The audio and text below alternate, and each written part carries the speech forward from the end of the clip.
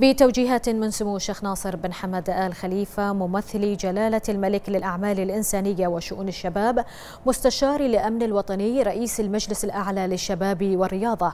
عقد الشيخ دعيب بن سلمان آل خليفة رئيس مجلس إدارة هيئة رعاية شؤون الخيل. اجتماعا مع السيد سعيد الطاير رئيس مجلس الإدارة الرئيس التنفيذي لمؤسسة ميدان بإمارة دبي بدولة الإمارات العربية المتحدة. وذلك في إطار التعاون التعاون بين مملكة البحرين ودولة الإمارات العربية المتحدة في مجالات رياضة الخيل ورعايتها.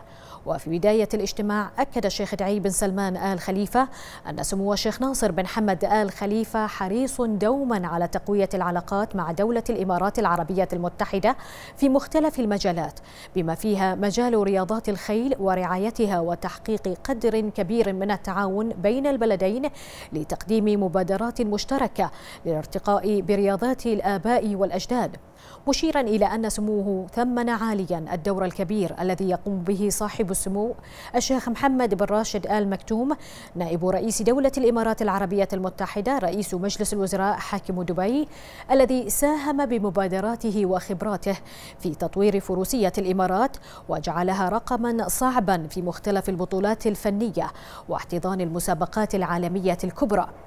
وبين الشيخ دعي بن سلمان آل خليفة أن رياضة الفروسية في مملكة البحرين ودولة الإمارات العربية المتحدة تسير بخطى واثقة نحو تحقيق المزيد من التطور والنماء في مختلف منظومتها الإدارية والفنية.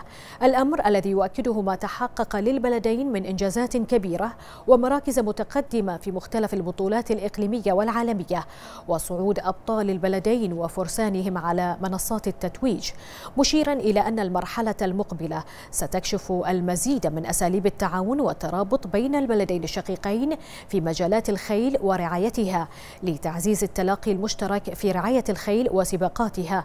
باعتبارها تمثل جزءا أصيلا من تاريخ البلدين الشقيقين.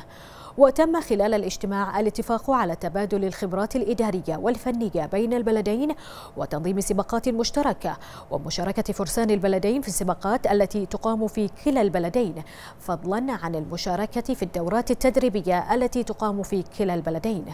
من جانبه أعرب السيد سعيد الطاير عن تقديره للدور البارز الذي يقوم به سمو الشيخ ناصر بن حمد آل خليفة في مجال رعاية سباقات الخيل والاهتمام بالخيل في مملكة البحرين. الأمر الذي يؤكد اهتمام سموه بالسير على نهج حضرة صاحب الجلالة. الملك حمد بن عيسى آل خليفة عاهل البلاد المفدى حفظه الله ورعاه. في الارتقاء برياضة الخيل في البحرين والمحافظة عليها باعتبارها جزءا أصيلا من تاريخ البحرين العريق مشيرا إلى أن دولة الإمارات العربية المتحدة.